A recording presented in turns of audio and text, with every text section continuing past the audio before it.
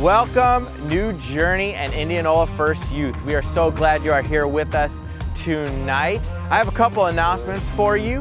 And uh, the very first announcement I have is if you have not joined us on Instagram or Facebook, you need to do that because we have been playing games on those platforms. We have been um, giving out encouraging words on those uh, two platforms. So, uh, and you, you have a chance to actually win prizes throughout the week if you're watching and playing along. I know this week uh, for Indianola First, Mallory Zimmerman won a $10 gift card to Finero, so good job, Mallory. Uh, so go ahead and join us on those two platforms, Instagram or uh, Facebook for Indianola. It's Indianola First Youth. So go ahead and do that for New Journey. It's New Journey Youth. Get on those things and follow us. Um, the next announcement I have is for Indianola First Youth. If you are around this Friday at 5.30, we, we have something for you to do. We need you to go to a restaurant and get your food and come back to the church parking lot. We're gonna sit in our cars and we will eat uh, dinner together um, in our parking lot or in our uh, cars.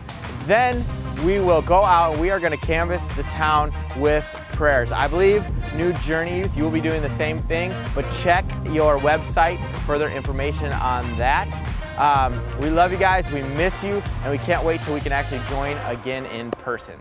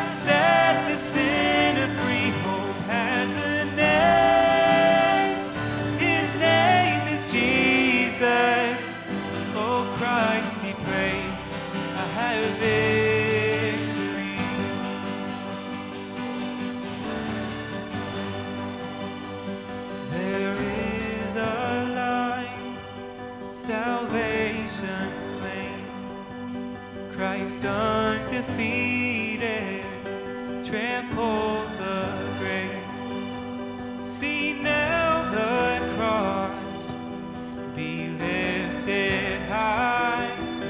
The light has come, the light is one. Behold the Christ.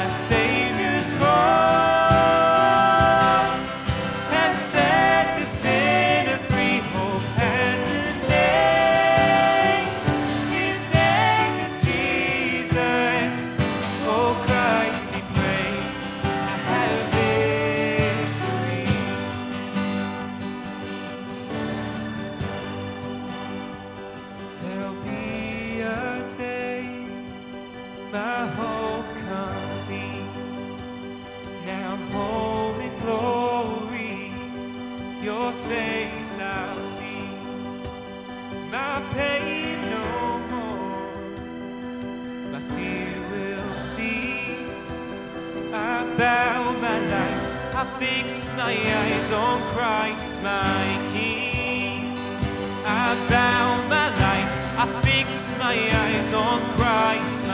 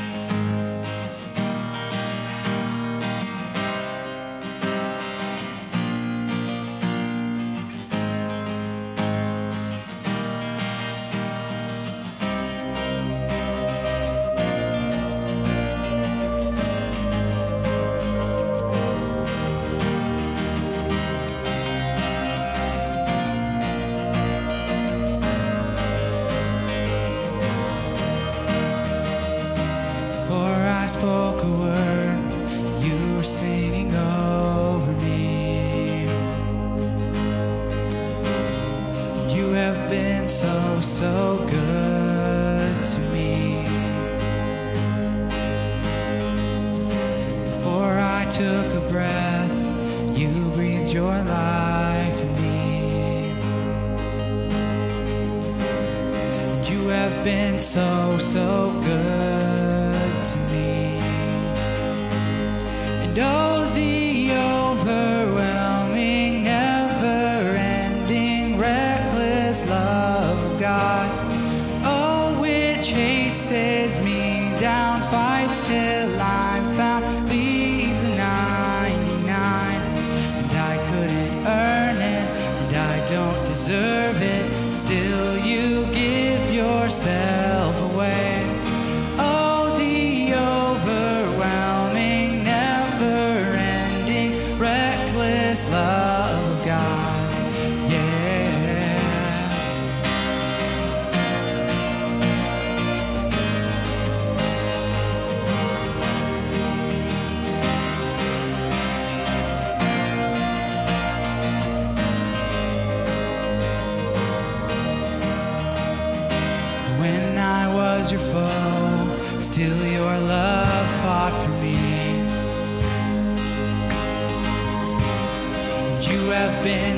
so, good to me. When I felt no worth, you paid it all for me. You have been so, so kind to me. And oh,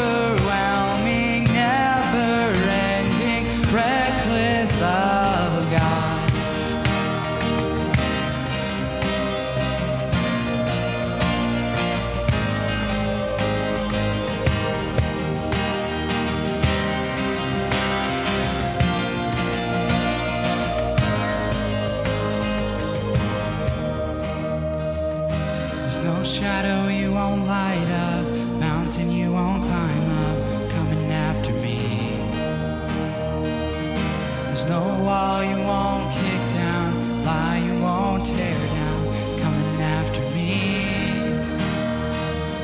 There's no shadow you won't light up, mountain you won't climb up, coming after me.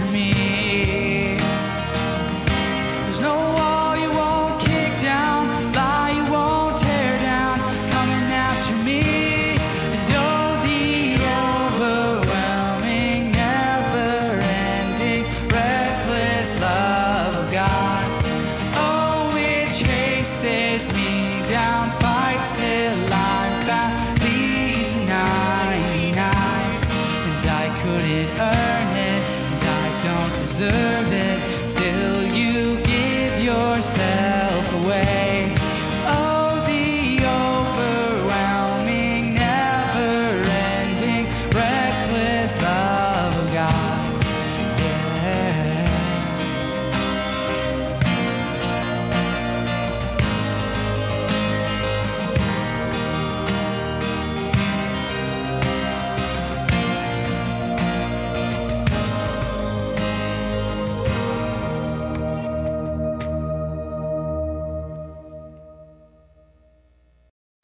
Hey there, Indianola First Youth and New Journey Youth. Man, I can't tell you guys how much that I miss meeting uh, with you guys in person.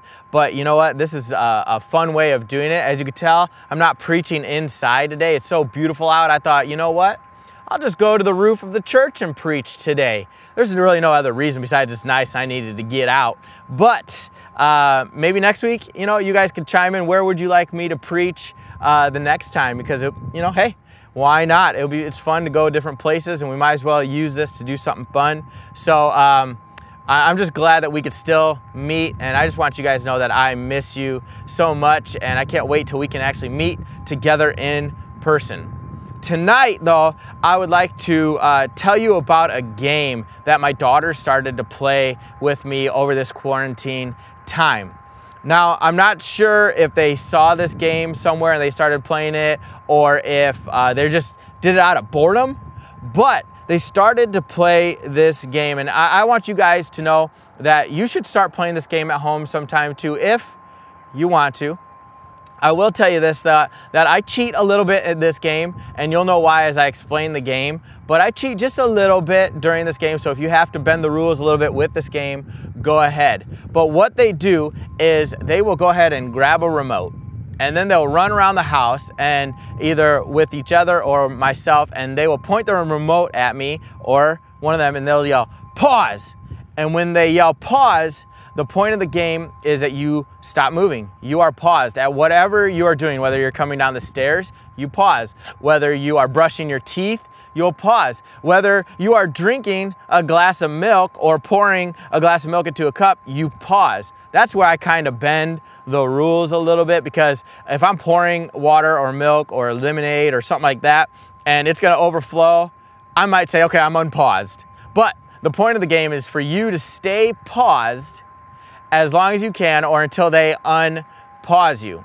Now, I have seen this game played um, with some people online. I've seen them play it where they'll go out with their friends and they'll do a little more extreme stuff. Like they'll be in a crowded mall or a crowded uh, place and they'll be running down the, or they'll be coming down the escalator and one of their friends will turn around and say, pause right at the bottom of the escalator. So all the people behind them have to get around them people and they're, they're super mad. Everybody that's going around them are super mad that that guy is standing in the way or else they'll be riding a train somewhere and one of the guys will hop off the train and turn around and yell pause right before the other guy gets off of the train. The doors close and off that guy goes to the next stop, wherever he might go. But that is the game. Um, I, I, recommend you go ahead and playing it around your house with your with your family. It's kind of fun. If you need to bend the rules, I understand.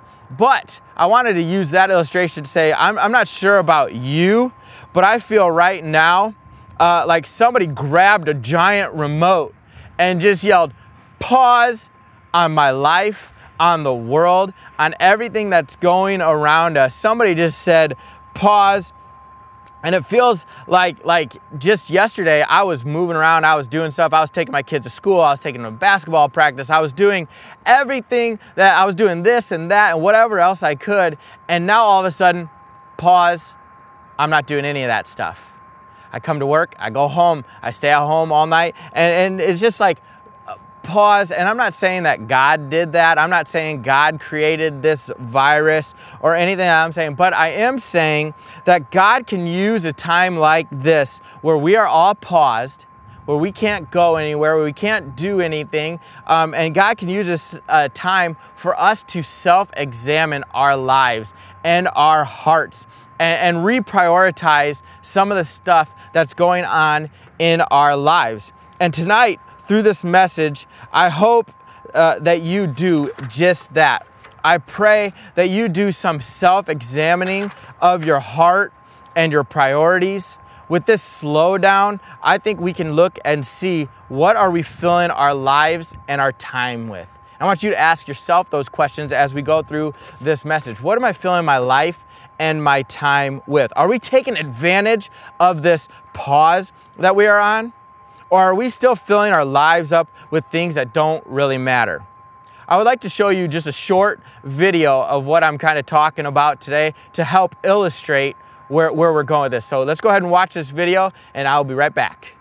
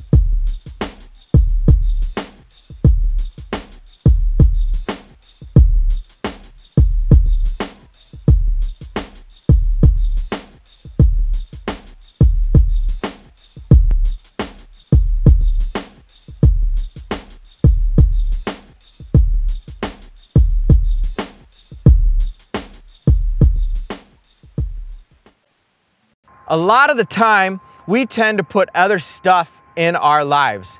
When we do that, we don't leave time for the stuff that really matters. You know, when we put playing video games or watching the next Netflix or playing sports or, or watching sports in front of Jesus, then by the end of the day, we don't have anything left for Jesus. So where does Jesus end up? He ends up on the side of our, our, our life, of our, the jar of life. He ends up on the side of that. He doesn't end up in the middle of it. He doesn't end up first. He ends up on the side because we filled our lives just like that illustration showed. We fill our life with the other stuff. And, and then by time Jesus comes it's like, oh, I have to, you're too tired. You don't have enough time. So why? He gets shoved to the back of that time. We, and we, as people right now, need to take a hold of this pause and use it to reprioritize our lives. We shouldn't think of this time as a time to just relax and do nothing. Oh, I can finally sleep more. Oh, I can play more video games. I can do all this stuff. Um, and so I'm just going to relax and not do anything. We shouldn't think of it like that. But we should think of this time as a time to pause our busy lives that we have gotten so full of things. I'm, I'm talking to myself as well as you guys tonight, but we should take this time and, and really think what is important? What needs to go back to the top of my priority list? What do I need to fill myself up with since I have this extra time? And we need to use it, use this time to put Jesus back at the top of that uh, of, of the list of important things, important people in our lives. Now there are many people in the Bible whose lives got put on pause to help them get back on track. One guy that I, I think of that comes to mind is Jonah. You know, here's Jonah doing what he wants to do, doing everything he can, and God says, Hey, I need you to go to Nineveh to talk to the people about me. And what does Jonah do? Jonah's like, no way. And he runs the other way and he goes the exact opposite way that God wanted him to do. Well, because of that, he ended up having a big pause in his life and he had to have that pause in the belly of a fish. I'm sure grateful that we don't have to have this pause in the belly of a fish, but Jonah did. Another person that comes to my mind is Saul before he came Paul. On the way to, uh, uh, on the road to D- Damascus in Acts chapter 9, we see Paul is going there and he's gonna he's gonna he's going to kill Christians.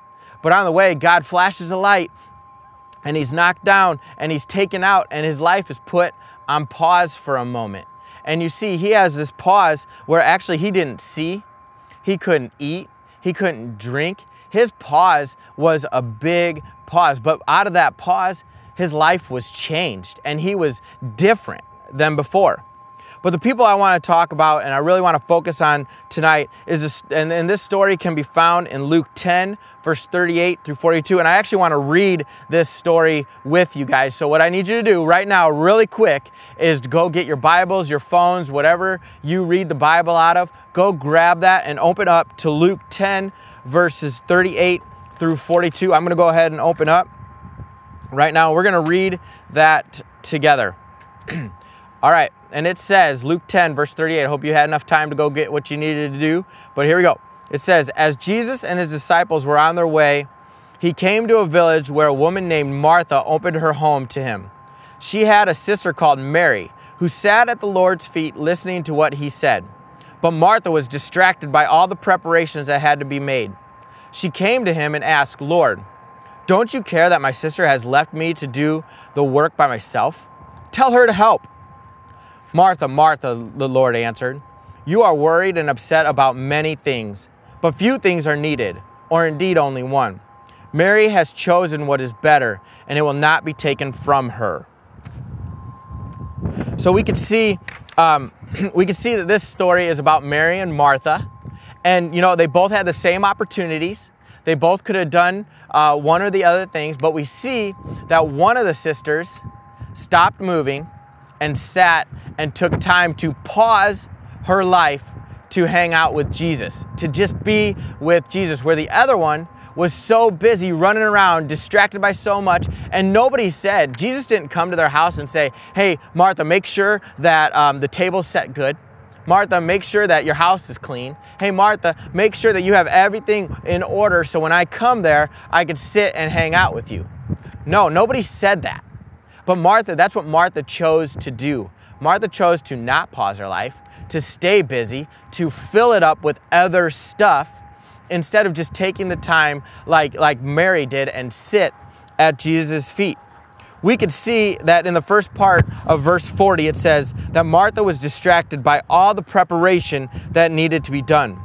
She was in the very presence of the King of Kings and the Lord of Lords and yet everything else was going on and and the business the busyness of the world had her neglecting the one thing that she should have been paying the most attention to she was so busy getting the house picked up getting the table ready getting all that stuff that she missed the one thing that was right in front of her the best thing that was right in front of her her distractions were so present that she ran up to jesus and the rest of verse 40 says Lord, don't you care that my sister has left me to do the work by myself?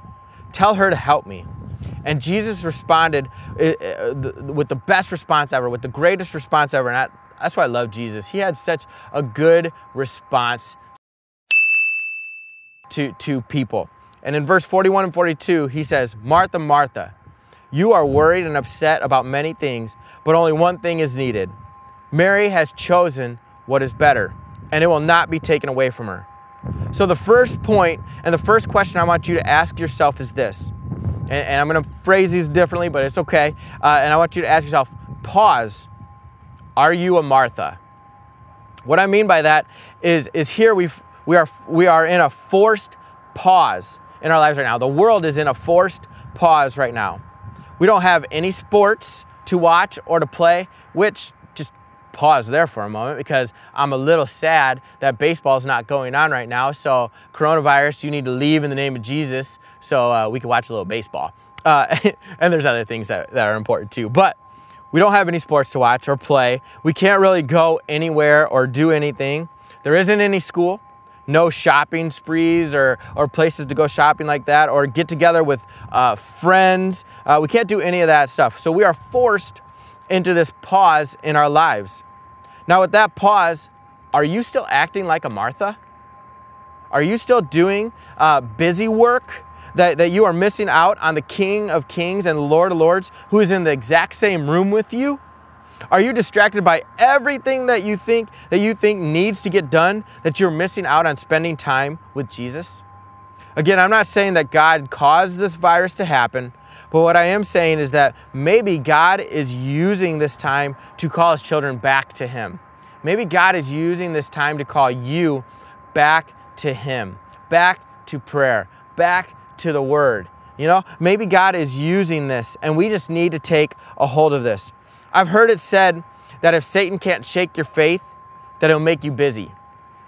I feel like that is what is happening in our country. That's what happened in my life. That's probably what's happening in your life. That, that, that Satan has just made us busy. We've gotten so busy doing things that we think that, that we think are important that we have neglected the one thing that we should never ever neglect, and that's spending time with Jesus. That's resting uh, at the feet of Jesus. And now, while we're in this pause as a world, it's important that we throw off every distraction that has gotten in the way of our time with Jesus. Hebrews 12:1 says it like this. Therefore, since we are surrounded by such a great cloud of witnesses, let us throw off everything that hinders and the sin that so easily entangles, and let us run with perseverance the race marked out before us. We need to throw off everything that hinders us, every sin that tries to entangle us. We need to get rid of it. Now is a great time to stop acting like a Martha and change our focus. Get our focus off the things of this world and put it back onto Jesus. Why is now a great time? Because everything is paused right now. There is no excuse why we can't spend time with God and, stop acting like a Martha. It's our choice to pause and either be a, be a Martha or pause and choose what is better. Which brings me to my next point. Pause and choose what is better. It's time we start being more like Mary. Jesus said to Martha, Mary has chosen what is better, and it will not be taken away from her. We need to start choosing what is better from now on. There is no better choice you can make than to spend time with Jesus. No other choice. You know, that was a few weeks ago that um, that that that kind of came into my heart and into my spirit when this thing started, and and it was just like God hit me across the head and said, "Whoa, you are in this time of slowing down. Why do you feel so busy still? You you need to take and choose what is better. I believe God is telling us that right now as a youth group, as individual people, to, to pause and really uh, um, make time for Jesus. Choose what is better. Jesus said, Since she has chosen what is better, it will not be taken away. When we make that choice to pause, even after this coronavirus, this goes on forever. It's not just right now, but we need to choose that even after. We need to choose and sit at Jesus' feet and spend time with Him.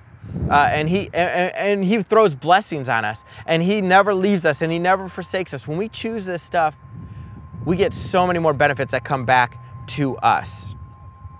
Ephesians 5 15 and 17 says, be, care- be very careful then how you live, not as unwise, but as wise, making the most of every opportunity, because the days are evil. Therefore, do not be foolish, but understand what the Lord's will is. It's time that we are careful with how we live. We need to stop missing the opportunities that God has, has already laid out for us. When, he, when we see an opportunity to share the love of Christ, we need to take hold of it. We need to grab a hold of that. When we see the opportunity to spend time with Jesus, let's not pass it up. Let's take that as a time to pause our lives and, and, and everything around us and take a hold of that. The days are evil, and we need to start making wise decisions and spending as much time as we can with Jesus, just like Mary. Let me tell you guys that that, that mess is still going to be there. That, that stuff is still going to be there that you think that you have to do right now. It's still going to be there. But make sure that you have your priorities right, that you are spending time with Jesus. And then we'll get to that other stuff later. Jesus has to be number one. It has to be, he has to be the, the most important. Let's start acting like Mary and choose what is better. The world is in desperate need of some people who are sold out to Jesus and who are not scared to spread the word of God. The only way we can get to that point is to surround ourselves with the presence of God. And the only way to be surrounded with the presence of God is to spend time with Him, is to take time out of your day and spend time with Him. That's your choice. That is your choice. During this pause, are you choosing to live more like Mary or are you choosing to live more like Martha? Martha had the same opportunities that Mary had, she just chose wrong. Jesus said that Mary chose what was better. And if Jesus was to look at your life right now during this pause, what would he say? What would he compare you to? Mary or Martha? Who are you during this time where we are in a forced pause? And that question should cause us to look at how we are spending our time these days. And this brings me to my final point tonight, which is pause. How are you spending your time? If you were to write down your day from the time you got up to the time you went to bed, what would that sheet of paper fill up to be? What would that time fill in right there? Would it be full of other stuff, like in that jar illustration?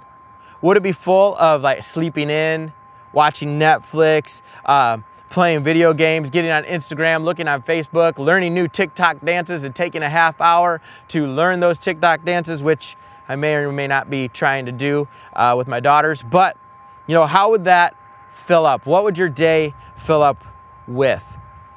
When you fill your days with that stuff, by the end of the day, you didn't have time for the important things like spending time with Jesus, praying, reading your Bible, having good, healthy conversations with your friends, spending time with your family. We have to make sure that we are putting that stuff in the jar first before the other stuff that's not important. Let's make sure that we grab that, you know, just like in that illustration, let's grab the rock that says Jesus, put that in. Then grab the rock that says family, put that in. Then grab the rock that that that says, um, you know, having friends that are good influences on me, put that in. And then we have to put the other stuff in, and then the other stuff after that. You know, it's very important that we get our priorities right. Because when we put the important stuff in first, we will have time to do the other things too.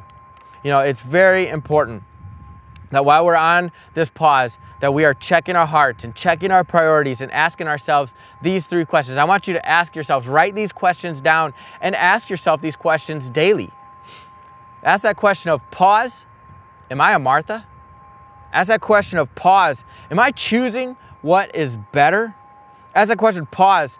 How am I spending my time? And I, I want to encourage you guys. I want to say, you know what? Maybe take a day and grab a notebook and write down every part of your day from the time you get up until you go to bed and see how your jar of life is being filled up. Is it being filled up with the other stuff and Jesus is getting put on the back burner? Or is it being filled with the stuff that Jesus wants us to fill it with and we will have time to do that other stuff? So, my challenge for you this week is just that. Since we have this time because of the pause, because the whole world is on pause right now, if you are being or have been distracted or you haven't been choosing what is better and, and your time hasn't been, spe- uh, been spent well, I want you to readjust your life. Readjust uh, how you do your days. Let's take hold of this pause and let, let's turn this thing that was a negative into a positive. And let's let, let, let's use it to glorify god. Let's use our days and our lives to glorify god. Maybe use this time to call your friends and to pray with your friends. And let them know that they don't have to have fear that they can make it through this that we can make it through this you know and that god is there for us and he loves us and he is he wants to take care of us. But let's fill our days being a mary and sitting at Jesus' feet and, and, just worshiping Him and reading our Bible and praying and spending time with our family. We have, we have time on our side this time. So let's take a hold of it. What I want to challenge you uh, with is to put Jesus at the top of your priority list and do the important tasks first, then fill your day with everything else. Start with Jesus, start with sitting at His feet. Let's put the important stuff back in first of the jar of our lives, and then we can add the other stuff. Let me pray with you, and then I want, I want you guys to have a good day and, and, and a good week. But here, I'm gonna pray for you. Lord, I just come, God, and I just thank you for every student, every adult that might be watching, God. And I just pray, Lord, that we would start filling our, our jar of life with the important stuff, God. That we would put you back at the forefront of our life, that we would put family back at the forefront of our life, God. That we'll put prayer and reading our Bible back at the forefront of our life as a family, as a group, God, that we would do this and we would see you start moving in miraculous ways, God. I thank you for every student, God, that's part of Indianola First Assembly and New Journey Youth. And I pray, I, I thank you for everybody else who is joining us as well, God. And I ask that you just bless their days, God, and that we would remember to just pause and put you back uh, first, God. In Jesus' name, amen. We love you guys and, and just have a great week with Jesus at the front.